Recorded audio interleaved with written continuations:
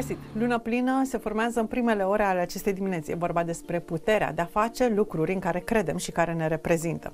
Pentru berbeci, ziua poate aduce, mai ales după amiaza, mici uh, necăjiri, supărări, din cauza că nu reușesc să-i lămurească pe cei din jur în legătură cu planurile și proiectele lor, le pasă prea mult de gura lumii. Pentru tauri, au și ei uh, preocupări legate de resurse. Pot face lucrurile pe care și le-au propus sau mai trebuie să ceară ajutorul sau să se descurce ingenios. Pentru gemeni, tot felul de diligențe și de rezolvări care au nevoie de acte și mai ales de vizite și de lămurirea unor oameni în legătură cu lucrurile pe care le-au de rezolvat, săcăiere administrative.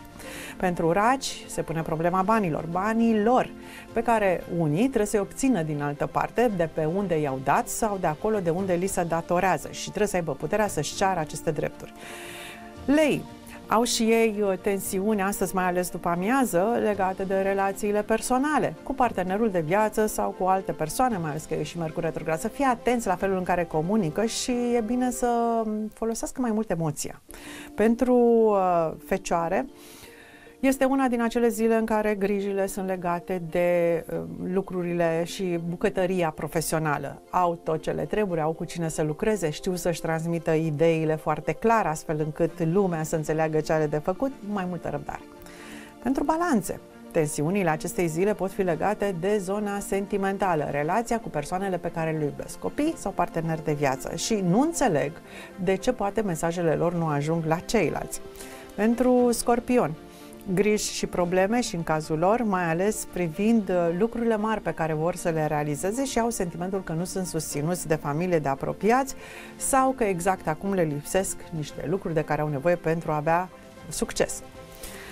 Sco- săgetătorii uh, sunt și ei tensionați de felul în care își transmit și sunt înțelese ideile lor. Au sentimentul că vorbesc alte limbă decât ceilalți. Este foarte posibil să fie un pic mai atenți. Pentru Capricorn, cheltuiele astăzi, dar nu neapărat pentru că ei le consideră necesare, dar s-ar putea ca altcineva să dorească să scoată din pușculița comună, partenerul de viață, evident, discuții financiare.